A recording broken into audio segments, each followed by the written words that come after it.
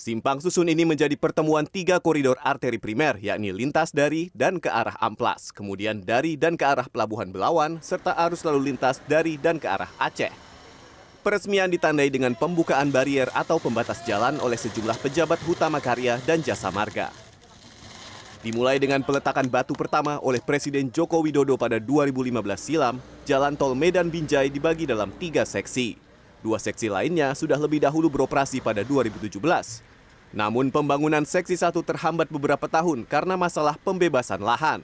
Uji laik fungsi yang dilakukan terhadap ruas tol ini berjalan dengan baik pada pertengahan Desember tahun lalu. Jalan tol ini juga dilengkapi fasilitas crash cushion yang dipasang di 16 titik percabangan jalan. Alat ini bisa meredam benturan saat terjadi kecelakaan di percabangan seperti ini. Di ruas Trans Sumatera, alat ini baru terpasang di tempat ini. Eh, jalan tol Medan Binjai kan ber, apa, bersambungan dengan jalan tol Belmera ya. Jadi sesuai dengan pengoperasian, semua sudah ada terintegrasi, semua sudah ada peralatannya, sehingga pengguna jalan Medan Binjai nanti dapat langsung eh, menggunakan menyambung dengan jalan tol Belmera. Ruas ini menjadi sangat penting bagi nadi transportasi utara selatan dan timur kota Medan. Seorang warga menyebut seksi satu tol Medan Binjai ini memangkas waktu perjalanannya satu jam lebih tanpa melintasi dalam kota.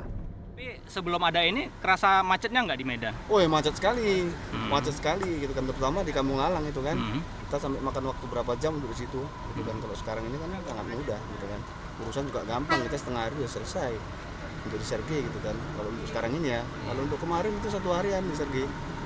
Hanya Sergei. Sebanding nggak dengan biaya tol yang mahal itu? Sebagai urusan eh, pekerjaan ataupun bisnis saya sebanding. Tapi kalau urusan lainnya saya nggak tahu juga ya. Beberapa saat setelah diresmikan, kami mencoba melintasi ruas tol ini dari Helvetia ke Tanjung Mulia sekitar 6,8 km.